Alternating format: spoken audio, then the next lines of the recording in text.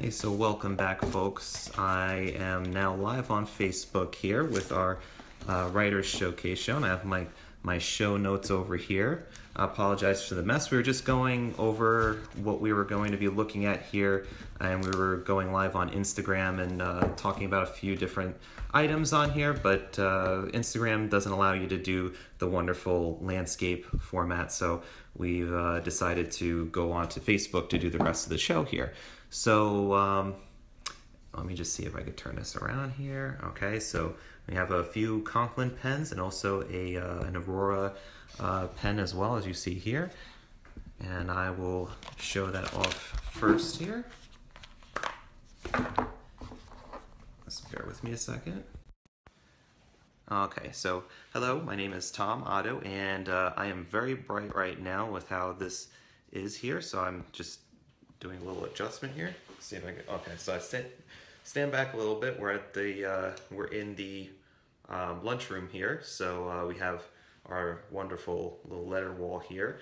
And I also have this wonderful uh, Aurora Duocart fountain pen, which is made after a vintage model uh, that uh, Aurora used to make back in the 1950s, 1960s. And originally, this model uh, was intended to be made for an Italian company that was celebrating its 60th anniversary, and they wanted Aurora to make them a pen that was uh, a pen that would have been made around in that same time period of when they had uh, created the company. So uh, what Aurora did was they made them a batch of these pens, and then they said, you know what, this is probably a really good idea, which it certainly is. Pelikan's done it before. A few other companies have gone back to the well, so to speak, and have uh, brought back some good old vintage style type designs with with great success because vintage is is one of those um, categories of a fountain pen that actually is still quite desirable, and it's great to see it brought back into the mainstream and, and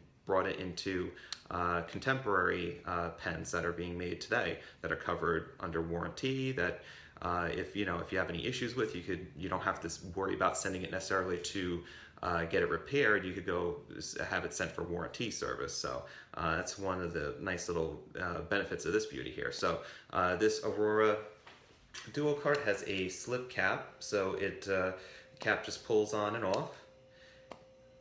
Kind of like with a little pop here uh, some of the pens, what, from what I've heard, some of the pens have a little bit, you know, like a looser fitting cap, so it's not very tight. Um, that's I've heard some of the comments here, which I, I could kind of see that. It's not like a, a firm snap uh, that you would feel when you put the cap on this pen, but, uh, you know, good enough nevertheless. Posts on the back. Has a nice, uh, has a nice size to it. And, uh, and we're going to look at this in a bit more detail. Let me flip the camera around to do so. Okay, so sorry for the mess of boxes here, but we were just opening things up in a rash of excitement. So this uh, Duocart came in this very elaborate box that Aurora had made. It's got some nice padding in it here and a uh, beautiful graphic that you know brings back that 50s type nostalgia with the advertising that they would do which was beautiful. Most of it was either painted or illustrated, not photographed per se, but um, beautiful nonetheless. The uh, the Duocart here, the oh, as I was mentioning before, the board uh, the uh, the Burgundy version did have a box that was a vintage box that they actually pulled out of the cellar or out of the warehouse wherever they had them stocked in Aurora's factory and these were like some of the oldest oldest boxes that they had and they actually boxed a number of these pens in that type of box and they had a bit of a of a musty type smell to them. I think if you check out uh, Matt Armstrong's video uh, on the Pen Habit YouTube channel, you can see what I'm talking about when you look at that box. But now, since the initial run has gone and has sold out already, we only have the new modern Aurora gift box, which it's still a nice gift box. I mean, I'm not big on presentation, uh, but it's a very nice box presentation overall. Has a little bottle of Aurora ink that's in here. Has got a uh, converter. So this is the screw type converter, which I will remove here. So it's got the Aurora screw uh, piston converter. which we will leave aside here because we're going to use that. It also has a uh, an Aurora cartridge here too. Probably one or two. Yeah, so we have two cartridges in here, which is cool.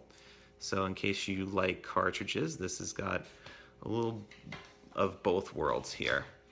So this is the duo cart, and we'll take a look at the nib here. If I could get it to zoom, okay. So we have a very small feed, and most of the nib and feed is completely covered by this uh, plastic section that's here which is very nice because you could get if you're the type that needs to get really high up into the writing point to you know, you're going to safely be able to do that because none of the nib or feed is exposed. So you could get really high up onto if you wanted to or uh, my natural grip is more a little bit further back. So if I you know I'm not really affected by that but you could get pretty close up and not have to worry about ink going onto your uh, fingertips there so it's a nice Bordeaux, you know, rich burgundy body to this material that's on the body of the pen. And then we have a, uh, you know, gold-filled, gold-plated cap with, uh, with engraved line pattern. No room for additional engraving here. Got the flat top and the flat bottom as well. So we'll just pop this converter in you know, nice tight fit in there for the converter. And we're going to fill it up with some Waterman inspired blue, which is a turquoise color. Let's open this up here. It's a little bit tight. That's a nice turquoise. So we're just going to dip the nib, you know, slightly in because we don't want to go full on there because the, the section is very uh, short. So let's see if we could grab just a bit of ink. I'm getting some bubbles as I'm pushing out the air. And yep, and we draw it up just nice and fine. You don't want too much ink in there as I'm not planning on planning on flushing it out afterwards. So let me get my trusty towel. Just wipe the section, make sure there's no traces of ink around where I would be possibly gripping the pen. Then we're going to put the body back on here. Now I think this pen is pretty much meant to be posted because I like the size. The, the size of it kind of seems a little small if you're going for it unposted, but you know, the, the posted feel, you know, just kind of feels natural. And it does feel a little bit more back heavy because of that gold metal cap that's on there. But uh, since the pen is already kind of on the you know the the uh, the more compact side, and it's not like let's say like a Homo sapiens, which I was looking at last week. You know the the the actual length of it's not really bothering me in terms of the weight and everything, and the cap posts pretty deeply too. And it's nice and secure on there, despite it not having like a particular, you know, click or anything. It just it posts pretty nicely. So let me get up close here. Uh, this is my uh, this is Clairefontaine paper, grid format.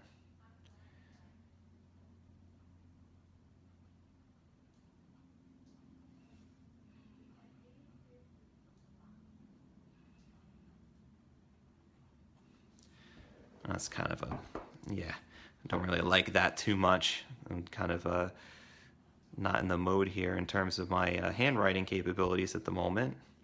Well, let's do some figure eights here. Nice and responsive, the flow is solid.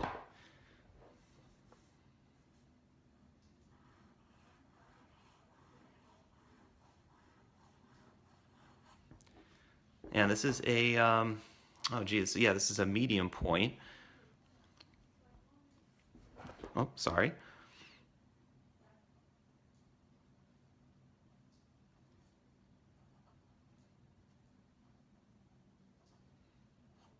Now, I've I've read and I've heard some people say that this is like a really, you know, beautiful nib, very smooth, and it's just a stainless steel nib too. It's a gold-plated stainless steel nib, so it's not like a, you know, not a 14K or anything like that, uh, which would drive up the price, of course. But this is, yeah, this is a, a beautiful, smooth nib, extremely you know, solid with its flow, you know, no no skipping or no hesitations.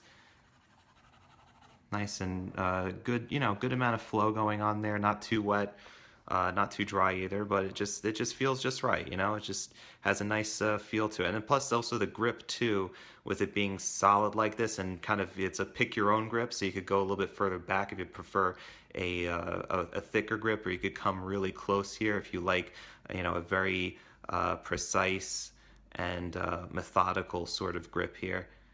And you can get into some nice detail you know, without having, you know, and, and, and really have a refined control over the tip by going a little bit further up and just really kind of clenching it a little bit tighter.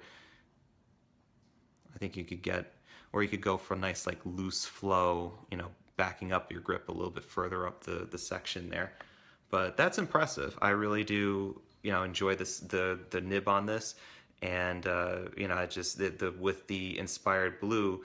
Um, you know, Waterman inks have always been extremely safe and reliable uh, for fountain pens, for vintage and modern fountain pens. And, you know, I've, I've always liked to use that type of ink if I'm testing or, um, you know, if I'm, I'm trying out a pen for the first time or, you know, as I have somebody who, you know, wants to uh, do an adjustment on a pen, like I'll use Waterman ink. It's kind of like the, uh, you know, my go-to. That and Aurora ink as well is a very, you know, safe ink to use.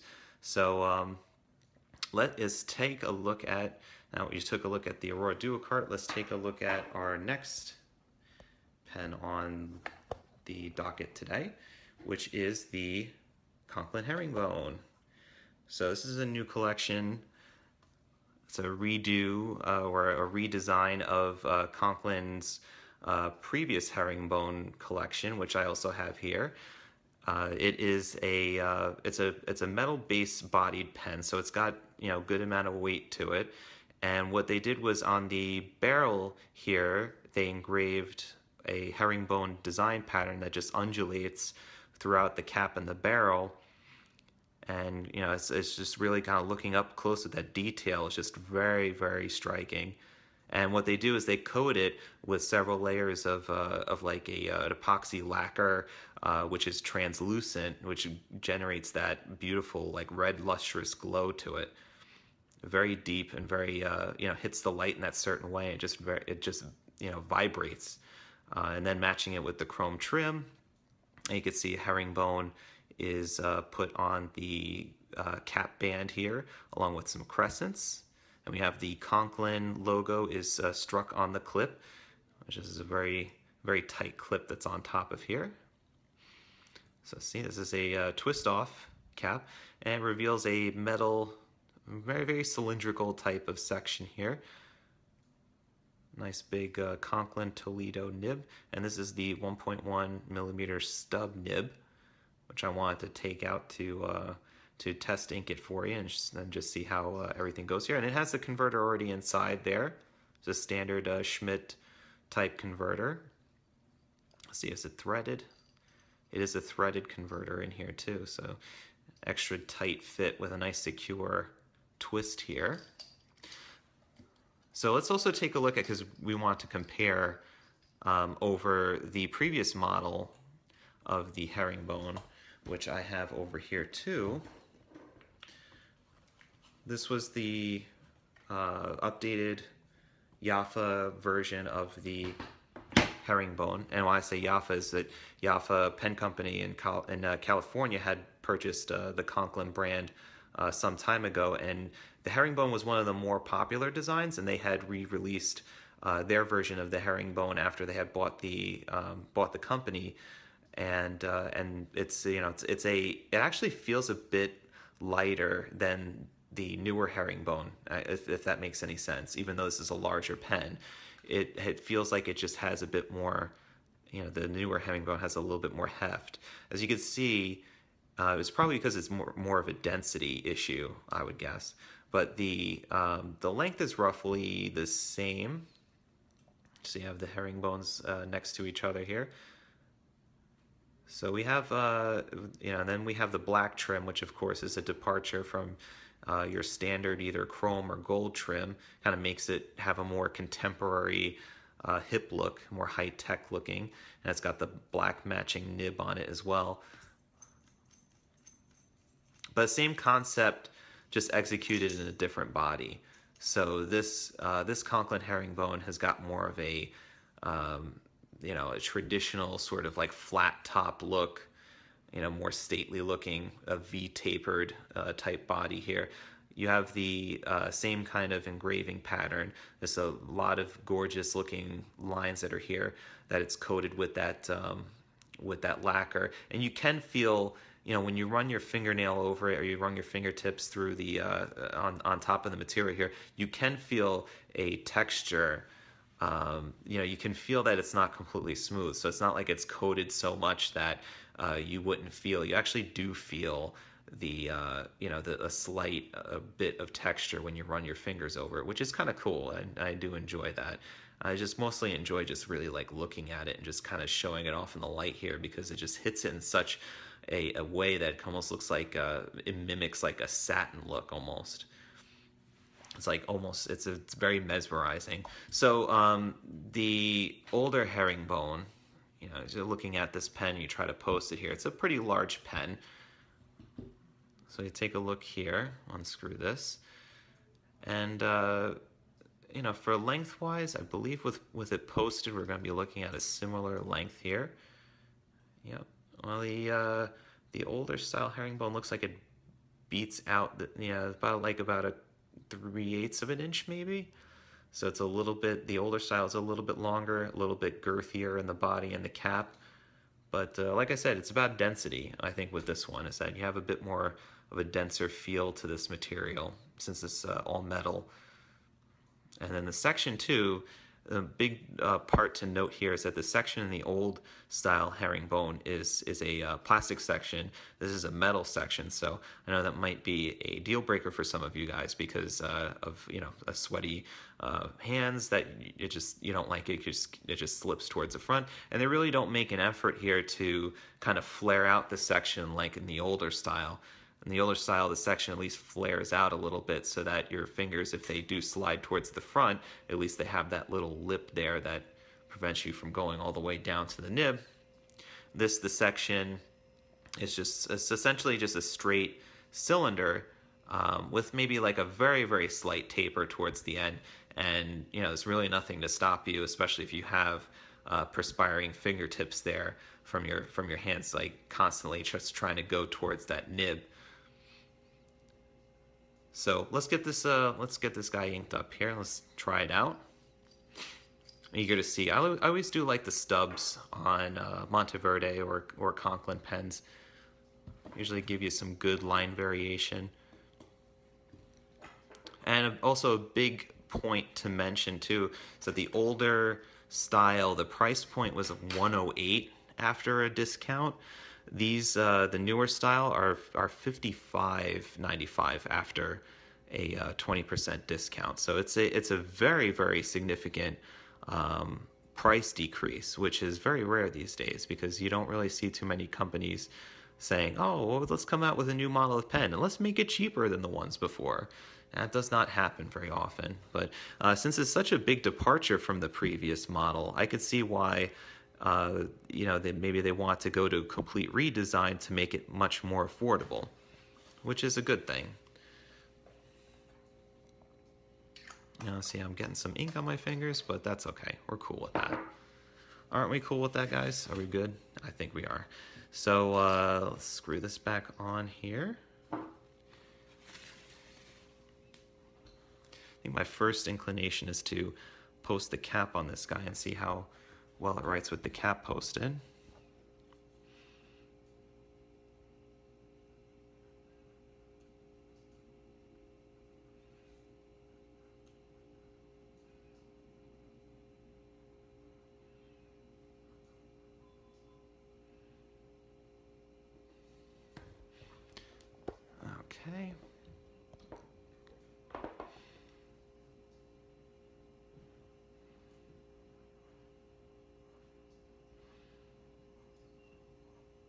Now see, I'm not putting any pressure on the nib to create that line variation. It's just the natural line variation caused by the shape of the nib, which is the, uh, the 1.1 millimeter stub.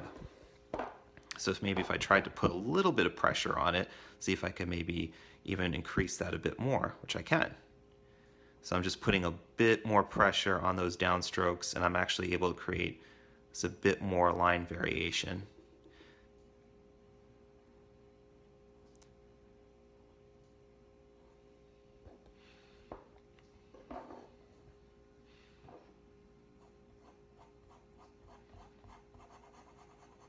I feel like you have to be a bit more deliberate with this nib as I'm kind of feeling it's it's kind of pulling a little bit.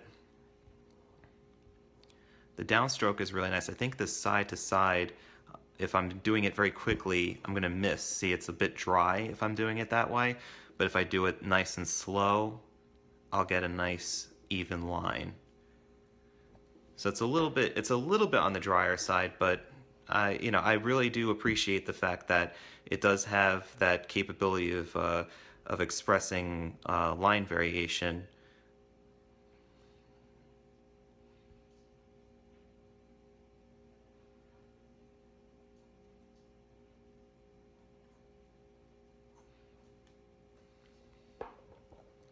So very, very cool. I do enjoy it. And there's my my notes here today, so I'm just turning this around so I can get to a blank spot on the page. Let's do a little quick brown fox.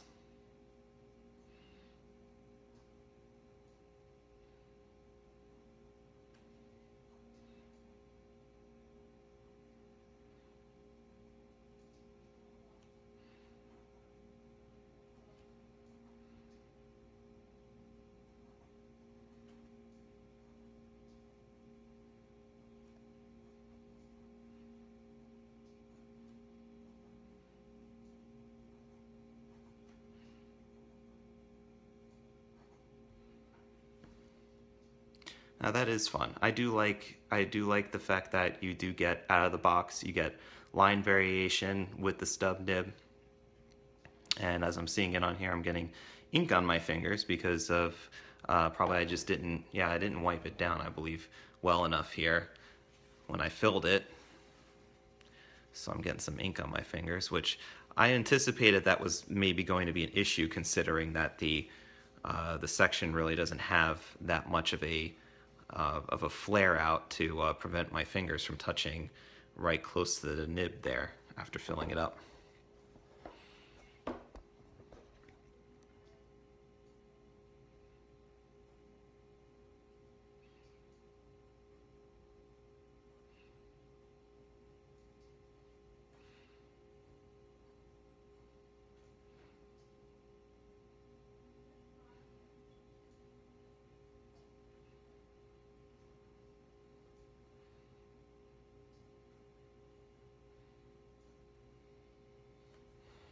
Lovely, very nice. I like this.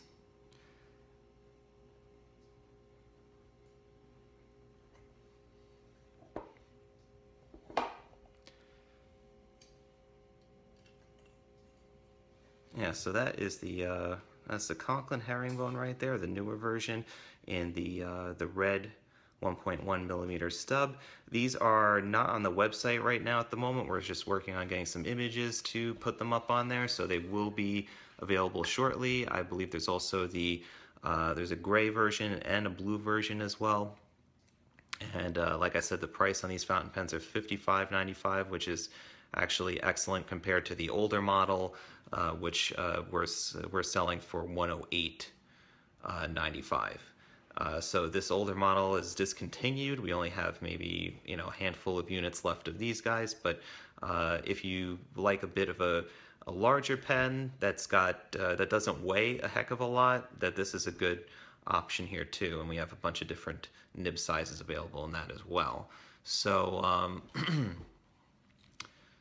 so uh, one other thing we just wanted to uh, mention here uh, you know, besides of course saying, you know, about the, uh, we have also the, the ink that we used on this was uh, Waterman Inspired Blue, which is a lovely turquoise ink as you were seeing here. It's got a little bit of a, uh, of a shading effect to it, especially using it with the, with a thicker stub type of nib.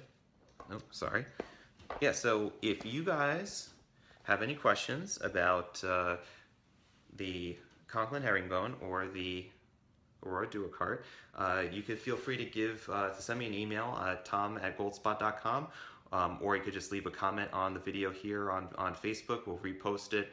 And, uh, and also, um, if you, uh, I'll also repost this on YouTube uh, in about a week or so. You should probably see that. So um, I hope that you have, all have a great, fabulous, and healthy, safe, happy Fourth of July weekend. Um, try to take Monday off too. Make it a four-day weekend. That would be kind of cool. So um, you know, I hope everything is going well. And if you have any uh, questions or want to see any different pens for uh, our writer showcases or want to go over any particular topics, you can feel free to just uh, contact me directly and I will uh, be happy to oblige. So take care and have a great day, guys.